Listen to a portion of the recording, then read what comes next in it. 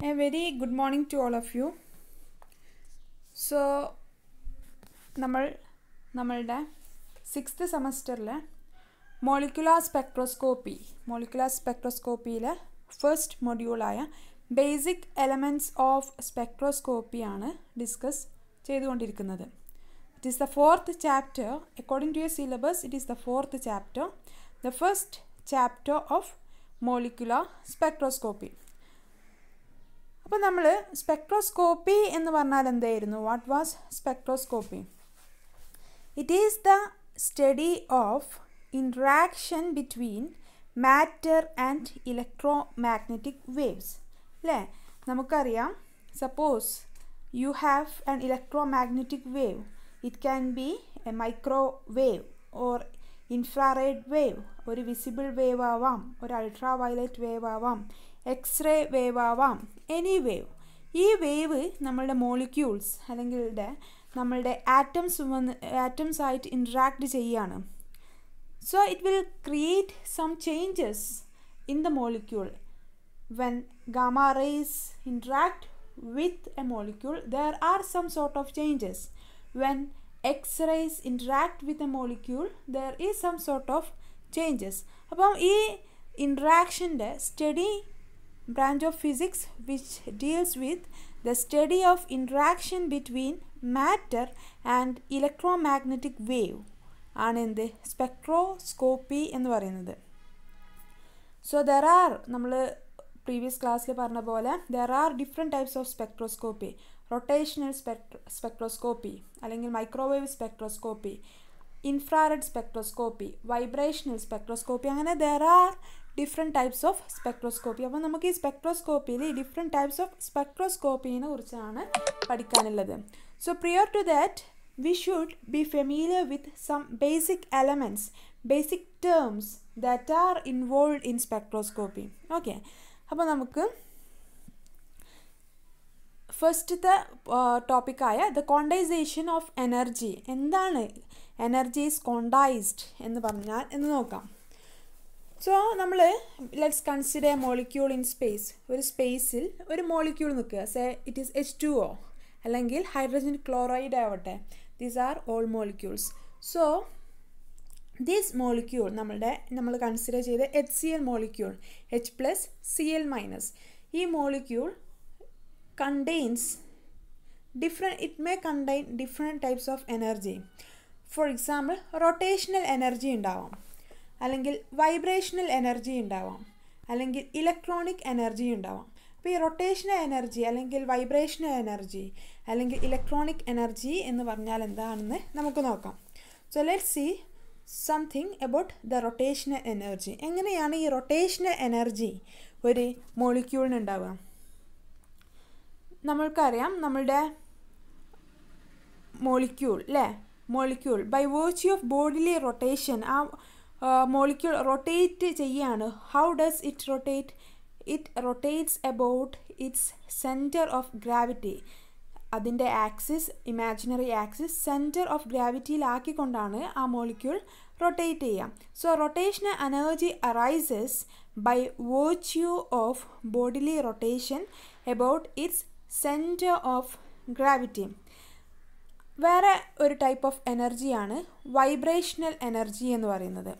അപ്പോൾ നമുക്കൊരു മോളിക്യൂൾ ഉണ്ടെങ്കിൽ ആ മോളിക്യൂളിന് എങ്ങനെയാണ് വൈബ്രേഷണൽ എനർജി ഉണ്ടാവുക? It is because due to the periodic displacement of its atom from the equilibrium position ഒരു ഇക്വിലിബ്രിയം പൊസിഷൻ ഉണ്ടെങ്കിൽ അതിൽ നിന്ന് മുകളോട്ടും താഴോട്ടും ഡിസ്പ്ലേസ്മെന്റ് പീരിയോഡിക് ഡിസ്പ്ലേസ്മെന്റ് നടക്കുന്നുണ്ട്. ആ ആറ്റത്തിന് പീരിയോഡിക് ഡിസ്പ്ലേസ്മെന്റ് നടക്കുന്നുണ്ട്. അങ്ങനെയാണ് ഒരു മോളിക്യൂളിന് വൈബ്രേഷൻ എനർജി നടക്കുക. So what is a vibration energy or how does a vibration energy arises it arises due to the periodic displacement of its atom from the equilibrium അല്ലെങ്കിൽ from their mean position ആ ഒരു stationery സ്റ്റേറ്റിൽ നിന്ന് അല്ലെങ്കിൽ അതിന്റെ മീൻ പൊസിഷനിൽ നിന്ന് മുകളിലോട്ടും താഴോട്ടും jump ചെയ്തുകൊണ്ട് നിൽക്കുന്നുണ്ട്. അങ്ങനെയാണ് ഒരു വൈബ്രേഷണൽ എനർജി ഒരു മോളിക്യൂളിന് വൈബ്രേഷണൽ എനർജി അറൈസ് ചെയ്യാം. തേർഡ് ടൈപ്പ് ഓഫ് എനർജി എന്ന് പറയുന്നത് it is the electronic energy അപ്പോൾ എങ്ങനെയാണ് നമുക്ക് ഇലക്ട്രോണിക് എനർജി കിട്ടുക നമുക്കറിയാം അല്ലേ? ഏതൊരു മോളിക്യൂൾ എടുക്കുകയാണെങ്കിലും ദർ ആർ ഇലക്ട്രോൺസ്. ആ ആറ്റത്തിന് ചുറ്റും എന്താണ്? അല്ലെങ്കിൽ ന്യൂക്ലിയസിന് ചുറ്റും ഇലക്ട്രോൺസ് ആർ റിവോൾവിങ് അപ്പം these electrons are in continuous motion because of the electrons are in unceasing അല്ലെങ്കിൽ continuous motion it will have some energy associated with it ഇതിനെയാണ് നമ്മൾ ഇലക്ട്രോണിക് എനർജി എന്ന് പറയുന്നത്. So how can you define electronic energy you can say electrons are associated with each atom or bond and they are in unceasing motion or they are in continuous motion അപ്പോൾ നമ്മൾ പറഞ്ഞു എന്താണ് നമ്മൾ discuss ചെയ്യുന്നത്? We are discussing we are going to discuss about quantization of energy energy quantized ആണ് in units of H nu അതെങ്ങനെയാണ് എന്ന് പറയാൻ വേണ്ടിയിട്ടാണ് നമ്മൾ these three different types of എനർജീനെ കുറിച്ച് പറഞ്ഞത്. അപ്പം നമുക്കറിയാം ഒരു molecule in space can have many sorts of energy and these are rotational energy which arises because of the bodily rotation ആ മോളിക്യൂൾ റൊട്ടേറ്റ് ചെയ്യുന്നത് കൊണ്ട് അറൈസ് ചെയ്യുന്ന എനർജിയാണ് റൊട്ടേഷണൽ എനർജി വൈബ്രേഷണൽ എനർജി എന്ന് പറയുമ്പോൾ it is due to the periodic displacement of its atoms from their equilibrium position equilibrium പൊസിഷനിൽ നിന്ന് നമ്മളുടെ ആറ്റംസ് ഡിസ്പ്ലേസ് ചെയ്യുന്നത് കൊണ്ട് ഉണ്ടാകുന്ന എനർജിക്കാണ് നമ്മൾ വൈബ്രേഷൻ എനർജി എന്ന് പറയുന്നത്. റൊട്ടേഷൻ ഇലക്ട്രോണിക് എനർജി എന്ന് പറയുമ്പോൾ you know electrons are in continuous motion because of this motion some energy arises ഇതിനെയാണ് നമ്മൾ എന്ത് പറയുന്നത്? ഇലക്ട്രോണിക് എനർജി എന്ന് പറയുന്നത്. ഓക്കെ ഇനി നമ്മൾ quantization of energy quantization of എനർജിയിലേക്ക് വരികയാണ്. അതിന് വേണ്ടിയിട്ട് we are going to consider two energy levels E one എന്ന എനർജി ലെവലും ഇ ടു എന്ന എനർജി ലെവലും നമ്മൾ കൺസിഡർ ചെയ്യാൻ പോവുകയാണ്. അപ്പോൾ we are going to consider two possible energy states of a system ഒരു സിസ്റ്റം ഉണ്ട്. ആ സിസ്റ്റത്തിന്റെ രണ്ട് എനർജി സ്റ്റേറ്റ്സിനെ കുറിച്ച് സ്റ്റേറ്റ്സ് നമ്മൾ കൺസിഡർ ചെയ്യാം.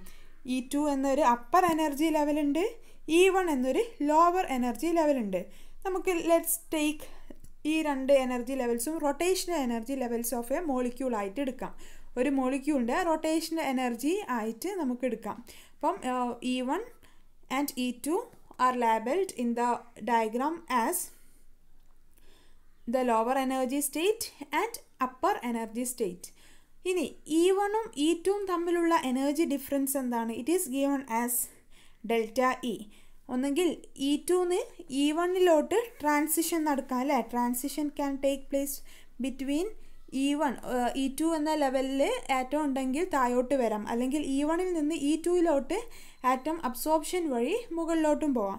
So the transition can take place between the levels E one and E two നമ്മൾ ഒരു എക്സ്ട്രാ എമൗണ്ട് ഓഫ് എനർജി കൊടുത്താൽ ഗ്രൗണ്ട് സ്റ്റേറ്റിൽ ഗ്രൗണ്ട് സ്റ്റേറ്റായ ഇ വണ്ണിൽ നിന്ന് അപ്പർ സ്റ്റേറ്റിലോട്ട് നമുക്ക് ആറ്റം ആറ്റത്തിന് ട്രാൻസിറ്റ് ട്രാൻസിഷൻ നടത്താൻ സാധിക്കുന്നതാണ്. ഒരു എക്സ്റ്റേണൽ എനർജി അല്ലെങ്കിൽ എക്സ്റ്റേണൽ ഫ്രീക്വൻസി കൊടുത്ത് ഫ്രീക്വൻസി കൊടുത്താൽ നമുക്ക് ഇ വണിൽ നിന്നുള്ള ഒരു ആറ്റത്തിനെ മുകളിലോട്ട് കൊണ്ടുപോകാം.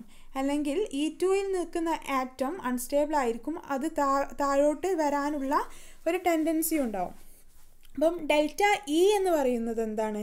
ഡെൽറ്റ ഇ എന്ന് പറയുന്നത് it is E two minus E one അല്ലെങ്കിൽ it can be E one minus E two അപ്പോൾ നമുക്ക് നമുക്ക് നടക്കുന്ന ട്രാൻസിഷൻ ട്രാൻസിഷൻ എന്ന് പറയുമ്പം ഇ വണ്ണിൽ നിന്ന് ഇ ടുയിലോട്ട് ഒരു ആറ്റം പോവുക. അല്ലെങ്കിൽ ഇ ടുയിൽ നിന്ന് ഇ വണ്ണിലോട്ട് ഒരു ആറ്റം വരിക. It can be termed as absorption or emission so transition can take place between the levels E one and E two E വണ്ണിൽ നിന്ന് ഇ ടുയിലോട്ടോ ഇ ടുയിൽ നിന്ന് ഇ വണ്ണിലോട്ടോ ആറ്റംസിനെ അങ്ങോട്ടും ഇങ്ങോട്ടൊക്കെ നമ്മൾ കൊടുക്കുന്ന എനർജി സപ്ലൈക്ക് അനുസരിച്ച് മൂവ് ചെയ്യാൻ പറ്റുന്നതാണ്. അപ്പോൾ ഇതിനെയാണ് നമ്മൾ അബ്സോർപ്ഷൻ അല്ലെങ്കിൽ എമിഷൻ എന്ന് പറയും അബ്സോർപ്ഷൻ എന്ന് പറയുമ്പോൾ ലോവർ എനർജി സ്റ്റേറ്റ് ഇ വണിൽ നിന്ന് with the help of an external radiation E വണിൽ നിന്ന് ഇ ടുയിലോട്ട് ഒരു ആറ്റം ജമ്പ് ചെയ്യുന്ന ആ ഒരു പ്രോസസ്സിനെയാണ് നമ്മൾ അബ്സോർപ്ഷൻ എന്ന് പറയുന്നത്. എമിഷൻ എന്ന് പറയുമ്പോൾ ഹയർ എനർജി സ്റ്റേറ്റ് ആയ ഇ ടുവിൽ നിന്ന് താഴോട്ട് എമിറ്റ് ചെയ്യുന്നതിനെയാണ് നമ്മൾ എമിഷൻ പ്രോസസ്സ് എന്ന് പറയുന്നത്. സോ നമുക്കറിയാം ഫേമസ് ഫിസിസിസ്റ്റായ പ്ലാങ്ക് പ്ലാങ്ക് എന്ത് സജസ്റ്റ് ചെയ്തു? Planck suggested that such absorption or emission അല്ലെങ്കിൽ absorbed or emitted energy can take the form of electromagnetic radiation ഒരു ഇലക്ട്രോ മാഗ്നറ്റിക് റേഡിയേഷന്റെ രൂപത്തിലാണ് അബ്സോർപ്ഷനും അല്ലെങ്കിൽ എമിഷനും നടക്കുന്നത് എന്ന് പ്ലാങ്ക് ഹാവ് സജസ്റ്റഡ് ഓക്കെ അപ്പം ഈ രണ്ട് എനർജി ലെവൽ ഡിഫറൻസ് അല്ലേ ഇ വൺ അതുപോലെ തന്നെ ഇ ടു ഈ രണ്ട് energy difference has the form E two minus E one is equal to H nu H nu എന്ന ഒരു എനർജി ഡിഫറൻസ് ആണ് E two minus E one എന്ന energy difference you will get who have suggested it Planck have suggested it E two minus E one എന്ന് പറയുന്നത് H nu ആണ്. ഇവിടെ H എന്ന് പറയുന്നത് it is known as the Planck's constant which is equal to six point six three into ten raise to minus thirty four joules second unit is joule second joule സെക്കൻഡിൽ Planck's കോൺസ്റ്റന്റെ value എന്ന് പറയുന്നത് ഇത് six point six three into ten raise to minus thirty four ആണ്. ഇവിടെ H into nu ആണ്. Nu എന്ന് പറയുന്നത് ഫ്രീക്വൻസി ഓഫ് റേഡിയേഷൻ ആ റേഡിയേഷന്റെ ഫ്രീക്വൻസിക്കാണ് നമ്മൾ എന്ത് പറയുന്നത്? ന്യൂ എന്ന് പറയുന്നത്. In terms of lambda wave നമ്പറിന്റെ രീതിയിൽ നമുക്ക് എങ്ങനെ എഴുതാൻ പറ്റും? You know nu is equal to c by lambda nu equal to c by ലാംഡയാണ് അല്ലെങ്കിൽ E two minus E one is equal to h c by lambda എന്നും നമുക്ക് എഴുതാൻ പറ്റും. എന്തിന്? എനർജി ഡിഫറൻസിന് സോ പ്ലാങ് ഹാവ് സജസ്റ്റഡ് എന്ത് suggest ചെയ്തു? Uh, absorbed or emitted energy can take the form of electromagnetic radiation and it is given as the energy difference has the form E2 minus E1 which is equal to h nu here h is known as Planck's constant which is equal to 6.63 into 10 raised to minus 34 joule second nu എന്ന് പറയുന്നത് frequency of radiation ആണ് എന്തായിരിക്കും അപ്പോൾ ഫ്രീക്വൻസിന്റെ unit ഫ്രീക്വൻസിന്റെ unit എന്ന് പറയുന്നത് heads ആയിരിക്കും അല്ലേ അത് യൂണിറ്റ് ഓഫ് ഫ്രീക്വൻസി എന്ന് പറയുന്നത് it will be hertz so E two minus E one എന്ന് പറയുന്നത് എച്ച് ന്യൂ ആണ്. E two minus E one എന്ന് പറയുന്നത് it is the change in energy difference energy energy difference ആണല്ലേ?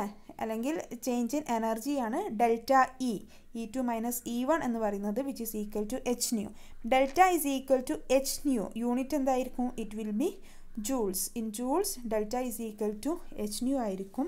അല്ലെങ്കിൽ ന്യൂ ഇസ് ഈക്വൽ ടു നമുക്ക് എന്ത് എഴുതാൻ പറ്റും? ഡെൽറ്റ ഇ ബൈ എച്ച് എന്നും നമുക്ക് എഴുതാൻ പറ്റും. ദ യൂണിറ്റ് ഓഫ് ന്യൂ എന്ന് പറയുന്നത് what it is it is hertz hertz ആണ് നമ്മുടെ ഫ്രീക്വൻസിയുടെ യൂണിറ്റ് എന്ന് പറയുന്നത്. അപ്പോൾ നമുക്ക് say suppose in terms of lambda delta is equal to h c by lambda അപ്പോൾ നമ്മുടെ എനർജിയുടെ value ten centimetre inverse ten centimetre inverse എന്ന് കിട്ടിയാൽ എന്താണ് അത് അതിനെ മീൻ ചെയ്യുന്നത്? There is a separation between രണ്ട് എനർജി ലെവൽസ് അല്ലെ E two minus E one എന്ന energy ലെവൽസിന് there is a separation of radiation and this has a wave number of ten raise to ten centimetre inverse ആണ് അതിന്റെ meaning എന്ന് പറയുന്നത്. So നമുക്ക് ഈ different യൂണിറ്റ്സിനെ കുറിച്ചൊക്കെ കമ്മിങ് ക്ലാസ്സിൽ നമുക്ക് ഡീറ്റെയിൽഡ് ആയിട്ട് നോക്കാം. ഓക്കെ ഇനി നമുക്ക് അടുത്ത ടോപ്പിക് ഡിസ്കസ് ചെയ്യാനുള്ളത് regions of the സ്പെക്ട്രാണ് there are different regions of the electromagnetic spectrum radio frequency region microwave region infrared region visible and ultraviolet region X-ray region അപ്പോൾ ഇതിന്റെയൊക്കെ കുറിച്ചുള്ള ഒരു ബേസിക്സ് ആണ് നമുക്ക് അടുത്ത ക്ലാസ്സിൽ നോക്കാനുള്ളത്. എന്തെങ്കിലും ഡൗട്ട് ഉണ്ടെങ്കിൽ ചോദിക്കുക. Okay so thank you all